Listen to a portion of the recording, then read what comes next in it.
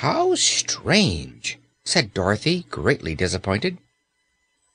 "It is evident the Pink Bear didn't tell the truth."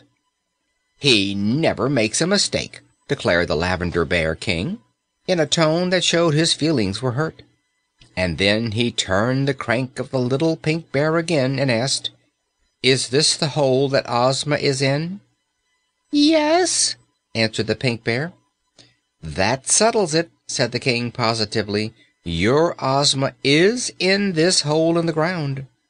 "Don't be silly," returned Dorothy impatiently. "Even your beady eyes can see there is no one in the hole but Button Bright." "Perhaps Button Bright is Ozma," suggested the King.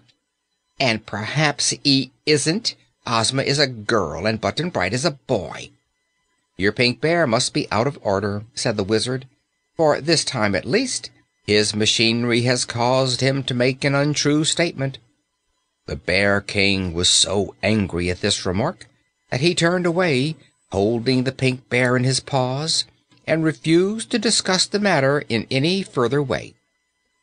"At any rate," said the Frogman, "the Pink Bear has led us to your boy friend and so enabled you to rescue him." Scraps was leaning so far over the hole, trying to find Ozma in it, that suddenly she lost her balance and pitched in head foremost. She fell upon Button Bright and tumbled him over, but he was not hurt by her soft, stuffed body and only laughed at the mishap.